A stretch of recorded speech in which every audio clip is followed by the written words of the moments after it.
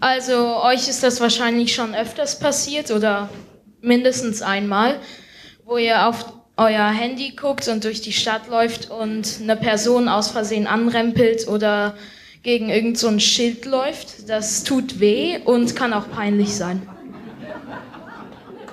Und deshalb haben wir uns gedacht, wir bauen eine Hülle, die einen davor warnt, dass man irgendwo gegenläuft.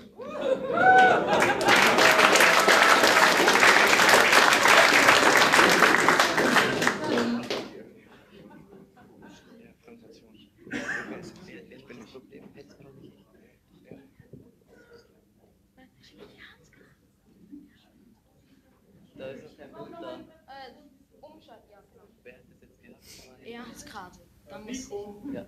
Ähm, genau, also das, das, das, das, Problem, das uns dann, ähm, das wir dann, ähm, auf das wir dann gestoßen sind, war dann. Das Problem, auf das wir dann gestoßen sind, war dann halt, wenn man ähm, durch die Stadt läuft mit seinem Handy, das ist dann halt ähm, nicht gerade nicht gerade empfehlenswert und ja, das war eigentlich nicht meine Folie. Ich weiß nicht, wer das hätte machen sollen, aber Genau, da war noch keine Folie da. So.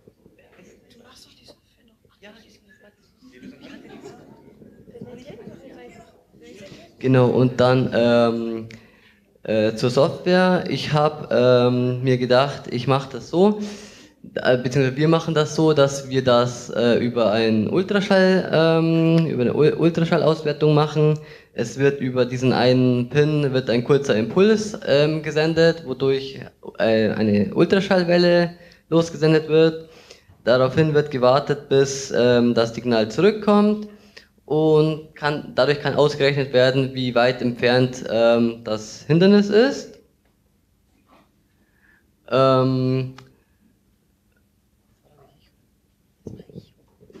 Ja, in unserer Handyhülle ähm, ist eigentlich nur das drinne. Also wir haben, wir haben erstens ein, ein Lithium-Ionen-Akku-Pack ähm, drinne, um den Arduino, um den Arduino Nano dort mit Strom zu versorgen. Das Praktische daran ist, dass wir dann gleich unser Handy auch noch aufladen können und so eine kleine Akkuerweiterung haben.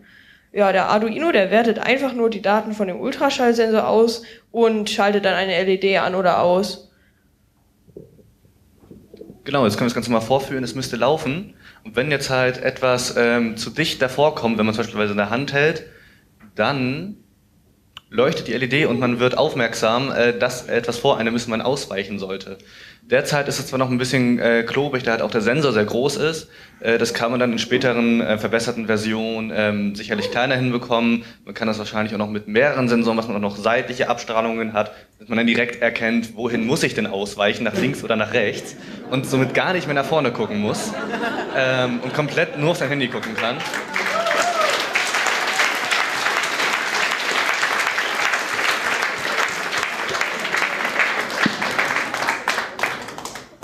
Und das Gute daran ist ja, dass eine Hülle ist, es ist auch plattformunabhängig. Also man kann ähm, derzeit halt alle Handys, die in etwa so eine Größe haben, reinlegen oder halt ein anderes Gehäuse, äh, Laserkarten 3D drucken und dann iPhones, Android-Geräte, Windows Phone-Geräte einfach reinlegen und das Ganze benutzen.